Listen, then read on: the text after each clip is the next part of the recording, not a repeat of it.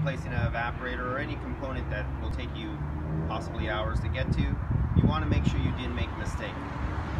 Take the Fieldpiece, S-Man, SM480V manifold, connect it up to your nitrogen with the manifold. You must use a pressure regulated manifold because this contains over 2,000 psi. You want to reduce that down to 150. I already put these under a vacuum so they're cleaned out below 100 microns, so I know there's no air or no moisture inside my hoses. Proceed with turning on the nitrogen, adjust regulator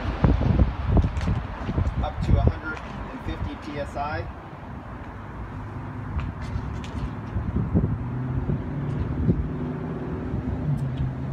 You can do this before or after attaching your gauges.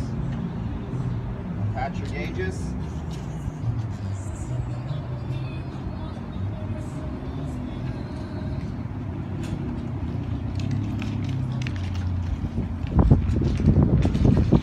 It is always recommended to use Nylog or dielectric grease, silicone grease, to lubricate your O-rings or your fittings where you're going to put your fittings on.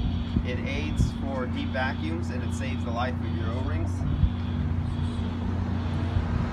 Open up the gauges. Now we have 150 psi in the system. Isolate the system.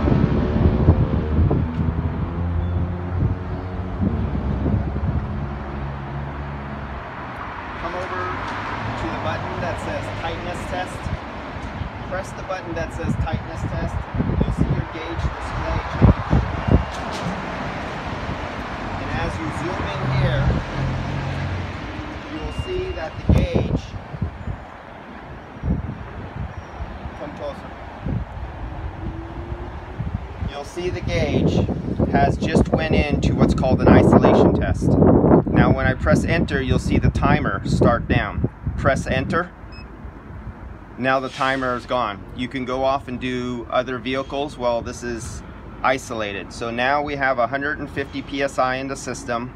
The timer will cut, cut down, count down, and leave it here from 15 minutes to an hour to make sure that you haven't lost any pressures. What you can read on digital gauges, you cannot read on old analog mechanical gauges for small amount pressures.